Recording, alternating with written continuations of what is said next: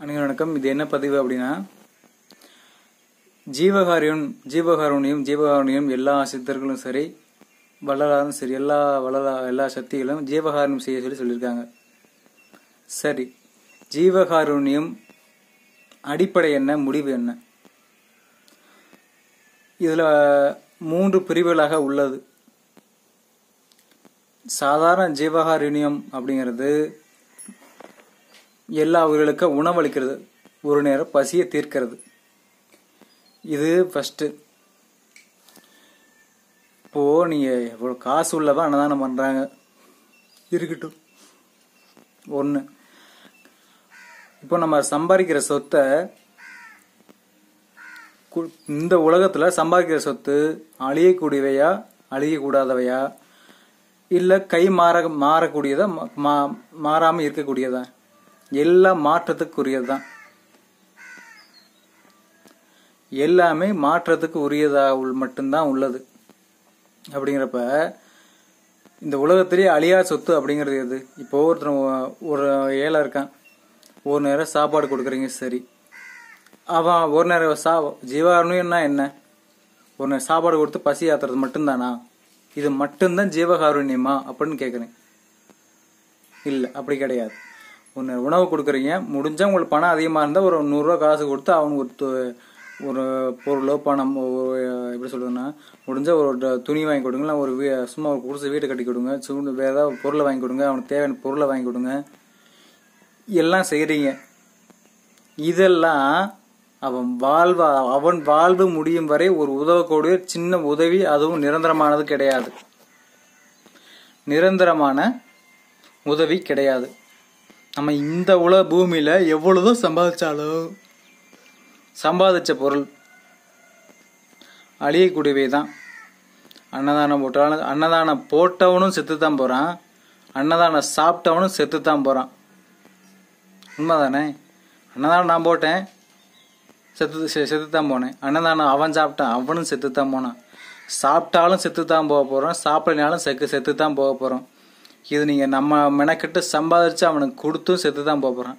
சம்பாதிச்சு உணவாக கொடுக்குறான் அவன் செத்து தானே போகிறான் சம்பாரிச்சு சம்பாரிச்சு கொடுத்த நம்மளும் செத்து தான் போகிறோம் அப்படிங்கிறப்ப உலகத்தில் எதுவும் அழியாத சொத்து? ஒருத்தனுக்கு ஒரு பொருளை கொடுத்தா அதுலேருந்து அவன் வாழ்க்கையில் இந்த மனித வாழ்க்கை மட்டும் கிடையாது அடுத்து பிறப்பட்ட நிலைக்கு கூட உதவி செய்யக்கூடிய வழி உதவி செய்யக்கூடிய சொத்துன்னு ஒன்று இருக்குது அது என்ன சொத்து? இந்த உலகத்துக்கு அந்த சொத்து பயன்படும். இந்த உலகத்தை வாழ்ந்து முடித்தாலும் அடுத்த வாழ்க்கைக்கு அவனுக்கு பயன்படும். அது என்ன சொத்து? இது எல்லாரும் யோசிச்சிருக்க மாட்டீங்க. அதாவது மனுஷன் சாப்பிட்டா தான் வாழ முடியும். சா சாப்பிட்டா நூறு வயசு வரைக்கும் வாழ்வான். இல்லை ஐம்பது எழுபது எண்பது வயசு வரைக்கும் வாழ்வான். சாப்பிட்லைன்னா இப்போ ஒரு நாற்பது வயசு ஆச்சு அவனை சாப்பாடு கொடுத்த ஒழுங்கு முறையை சாப்பிட்டானா எண்பது தொண்ணூறு வயசுக்கு வாழலாம். சரியாக சாப்பிடலன்னா நான் ஐம்பது அறுபது வயசு செத்து போயிடுவான். சாப்பிட்டாலும் செத்து தான் போவான் சாப்பிடலாம் செத்து தான் போக போகிறான் அப்போது நம்ம எவ்வளோதான் கோடி கோடி சம்பாரித்து கொடுத்தாலும் பிரயோஜனமே இல்லை. ஒரு நேரம் பசிக்கு போக முடியும். வேறு என்ன? நான் கேட்குறதாவது ஜீ உண்மையான ஜீவகாருண்யம் பொதுவான சாதாரண மக்களோட ஜீவகாருண்யம் என்பது உணவளிப்பது தான் சாதாரண மக்களுக்கு இதுதான் செய்ய முடியும். ஆனால் உண்மையான ஜீவகாருண்யம் என்பது ஒருத்தர் தவம் செய்து பிரபஞ்சத்திற்கு சக்தியை பூரா எடுத்து தன் உடம்புக்குள்ள சேர்த்தி தன் ஆத்மா சக்தியும் பிரபஞ்ச சக்தியை ஒன்று சேர்த்தி ஒருத்தனுக்கு தீட்சையா கொடுத்து தீட்சை பெற்றவன் தீட்சையா கொடுத்து கொடுக்குறான். அதாவது தவ யோ யோகி என்பவர் தவம் செய்பவர் ஒரு தீட்சை வாங்கினவர் யோகி தவம் சித்தநிலை அடைஞ்சவர் தனக்குள்ள அழியா சொத்தை உருவாக்கி வச்சிருக்கான். நான் யாரையுமே சித்தனு சித்த யோகி அவங்க யாரையும் பெருமை எல்லாம் பேச பேச கிடையாது. யார் ஒருத்தர் த- அழியா சொத்தை உருவாக்குறாங்களோ அந்த அழியா சொத்து பிரபஞ்சத்தில் இருக்கிற தவம் செய்து யோகம் செய்து தவம் செய்து தீட்சை வாங்கி குருவோட அனுகிரகத்தால் பிரபஞ்சத்தோட அனுகிரகத்தால் தவம் தவாற்றலிப்பு நம்ம தன் உடல்லே தன் ஆத்மசக்தியும் பெருக்கி அது அழியா சொத்து. அந்த அழியா சொத்தை உருவாக்கி அதிலிருந்து கொஞ்சம் எடுத்து ஒருத்தருக்கு தீட்சையாக கொடுக்குறோம். அதை அவன் பயன்பட சரியாக பயன்படுத்தினா இந்த மனித வாழ்க்கையிலும் ஜெயிக்க முடியும். இந்த மனித வாழ்க்கை கடந்த பின் ஆத்ம ஜோதி வாழ்க்கையிலையும் சமாதி கடந்து பிர- ஒளி தேகம் கடந்து அது பிரணவத்தை ஒளி பிரபஞ்சத்தையே ஆளக்கூடிய ஆற்றல் ஆற்றல் தரக்கூடிய சொத்து அது. அழியா சொத்து. இதுதான் உண்மையான அழியாத சொத்து. அது ஒரு சரியான அதாவது குருமார் என்பது தொட்டு தீட்சை தான் கொடுக்கணும் அப்படிலாம் கிடையாது. தீட்சையில் பல வகைகள் உண்டு. எத்தனையோ பேர் எத்தனையோ வகை தீட்சை கொடுக்குறாங்க. அதில் கண்களை பார்த்ததும் தீட்சை தான். தன் எண்ணங்களால் இவ வாழ்க்கை நல்லா இருக்கணுங்க வாழ்த்துறதும் தீட்சை தான். தொட்டு உணர்த்ததும் தீட்சை தான். பார்வை மூலியமா கொடுக்கறதும் தீட்சை தான். எல்லாமே தீட்சை தான். எண்ணங்களா நீ நல்லா இருப்ப வாழ்க்கையில் வாழ்க்கையில உன் பிற்பட்ட நிலைக்கு செல்வ. இதுவும் தீட்சை தான். அதனால உலகத்திலே அழியாத சொத்து அப்படின்னா தவமும் யோக யோகத்தாலும் எந்த யோகமாக வேணா இருந்துட்டு போட்டும் தன்னை சமாதி நிலைக்கு தன்னை ஆத்ம ஜீவ ஒடுக்கம் பெற்று தேவையான சமாதியில் உட்காந்துக்கலாம் தேவையில்லைன்னு உலகத்தில் நடமாடலாம். சமாதி நிலை க- கிடைத்து அதிலிருந்து ஒளி தேகம் கிடைந்து அது அடுத்து அற்பெருஞ்சோதி நிலை வரைக்கும். எடுத்து கொண்டு போகக்கூடிய ஒரு மிகப்பெரிய அழியா சொத்து என்பது ஒரு தவ யோகி தவ யோகி ஒரு சித்தநிலை அடைஞ்சவங்க அவங்க தீட்சை கொடுக்குறாங்க இல்லையா? அதுதான் உண்மையான அழியா சொத்து. நான் தான் சொல்லிட்டேன்.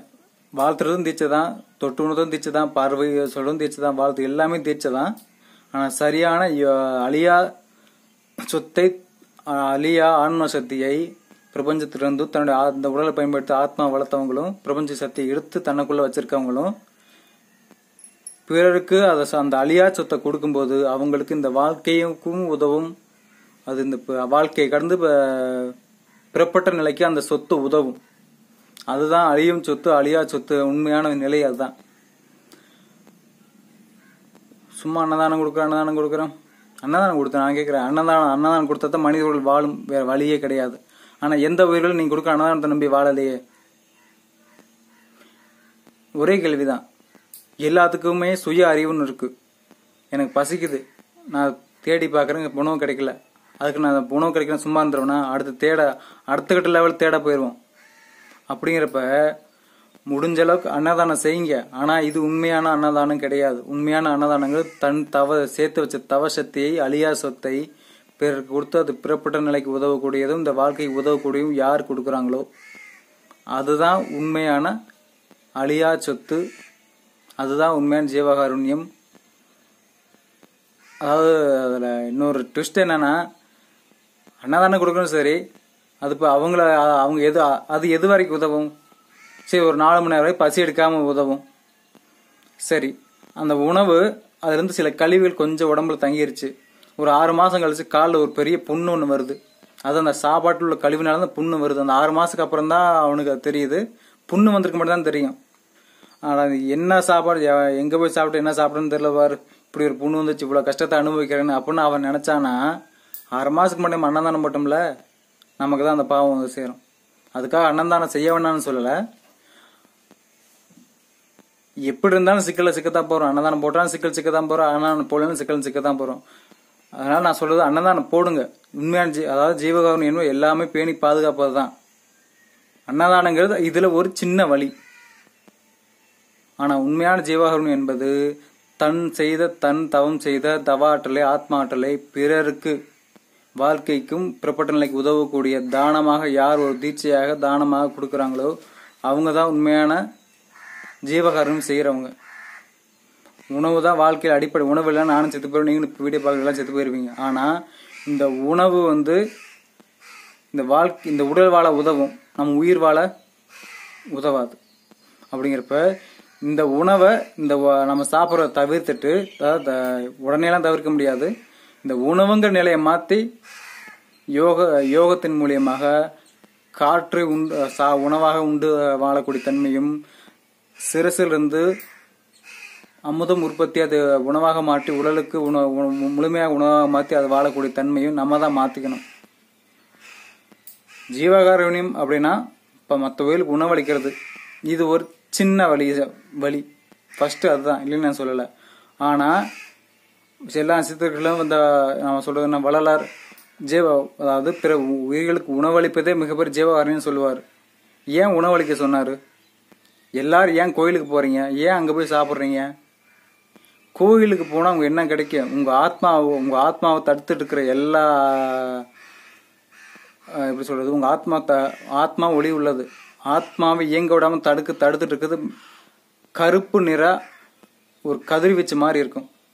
அந்த கருப்பு நிற கதிர் வச்சு நம்ம உடம்பு முழுவதும் ஆத்மா சுற்றி தன் உடம்பு முழுவதும் இருக்குது அது நம்ம கோயிலுக்கு போனோம் அப்படின்னா அந்த கருப்பு நிற கதிர்கள் எல்லாம் விலகி போயிடும் ஒளி மட்டுமே இருக்கும். அப்போ வந்து நம்ம ஆத்மாவால் விழிப்பு நிலையை அடைய முடியும். இதுக்கு தான் கோயிலுக்கு போக சொல்கிறது ஃபஸ்ட்டு இன்னொரு விஷயம் வள்ளலாரியா அங்கே அன்னதானமே அணையா அடுப்பு ஏன் போட்டு வச்சிருக்காரு? நீங்கள் அவங்க வாங்கப்பா நான் கற்றுக் கொடுக்குற கலையில் அனைத்தையுமே கற்றுக்குங்க ஆனால் அதுக்கு முன்னாடி உங்கள் வயிறை அடக்குங்க. வயிற்றுக்கு தேவையான உணவை போட்டிங்கன்னா வயிறு சும்மா அடங்கி போயிடும் வயிறு அமை அமைதியாச்சுன்னா மைண்ட் அமைதியாயிரும். நான் சொல்கிறத பூரா நீங்கள் தெளிவாக கேட்டுக்க முடியும் தெளிவாக கேட்டுக்க முடியும் தெளிவாக கற்றுக்க முடியும். அப்படின்றக்காக தான் அன்னதானத்தை கொடுத்தாரு. ஒரு பசியில கொடுமையான ப கடுமையான பசி இருக்க அவன்கிட்ட போய் உட்காந்துருக்கவன்ட்டு போய் நீ அதை கத்துக்க இதை கத்துக்க அதை அப்படி பண்ணு இப்படி பண்ணுன்னு சொன்னா அவன் கடுப்பாய் போயிரு அப்படி போட போட வேணேன்ட்டு போயிட்டே இருப்பான். அதே அவனுக்கு உணவை கொடுத்துட்டு நல்ல உணவு கொடுத்தா நல்லா பயிர் வயிறாக சாப்பிட்டு நிம்மதியா இருக்கான். அப்போ முக்கியமான விஷயங்களை வாழ்க்கைக்கு தேவை பிற்பட்ட என்னென்ன தேவை அனைத்து விஷயம் சொன்னா அவன் மனசார ஏத்துக்குவான் சரியா செய்வான். அப்படின்னு நினைச்சதுனால தான் முதல்ல நீ சாப்பாட்டை போடு. எல்லா கோயில்கள்லையும் என்ன எல்லா சித்திராலயங்கள்லையும் எல்லா ஜீவச மாதிரி நீயும் சாப்பாட்டை போடு. அவர் வய வயிறடங்கட்டும். வயிறடங்குனா மைண்ட் அடங்கு மைண்ட் அடங்குனா மனம் அடங்கும் மனம் அடங்குனா மண்டையில் ஓடுற விஷயம் எல்லாம் எல்லாம் நின்று நின்று போயிடும் பசி அடங்குனா மைண்டு மனம் எல்லாம் அமைதியாயிரும். அதுக்கப்புறம் நீ என்ன கற்றுக் கொடுக்கணும்னு நினைக்கிற? எல்லாத்தையும் கற்றுக் கொடு. அவன் மைண்டை ஏற்றுக்கும் அது அவன் வாழ்க்கைக்கு பெரும் உதவியாக இருக்கும். அப்படின்றதுக்காக தான் முதல்ல அன்னதானத்தை போடுறான் நாங்கள் அதனால எல்லோரும் கட்டாயம் தெரிஞ்சுக்கணும். ஜீவகாருண்யம் என்பது ஒரு நாலு மணி நேரத்துக்கு பசி தீர்க்கக்கூடிய உணவு கொடுக்கக்கூடிய விஷயம். இந்த உலகத்தை பொறுத்தவரைக்கும் இந்த மனித வாழ்க்கையை பொறுத்தவரைக்கும் பெரிய விஷயம்தான். ஆனால் இது டெம்பரவரி சொல்யூஷன் நிரந்தரமானது. ஒருத்தர் தவம் செஞ்சவங்க தவ யோகி சித்த நிலை அடைஞ்சவங்க தன் ஆற்றலையும் நிலையை பிரபஞ்சத்திற்கு இருந்த சக்திகளையும் ஒன்று சேர்த்து இந்த அழியா சொத்தை ஒருத்தருக்கு கொடுக்கும்போது தீட்சியாகவோ ஒரு ஏதோ ஒரு வகையில் கொடுக்கும்போது அது அவங்க மனித வாழ்க்கைக்கு பயன்படும் மனித வாழ்க்கை வந்து பிறப்பட்ட நிலைக்கு போனாலும் அது பயன்படும். இதுதான் உண்மையான ஜீவகாருண்யம். எல்லாம் தெரிஞ்சுக்கணும். நன்றி. அடுத்த பதில் பார்ப்போம்.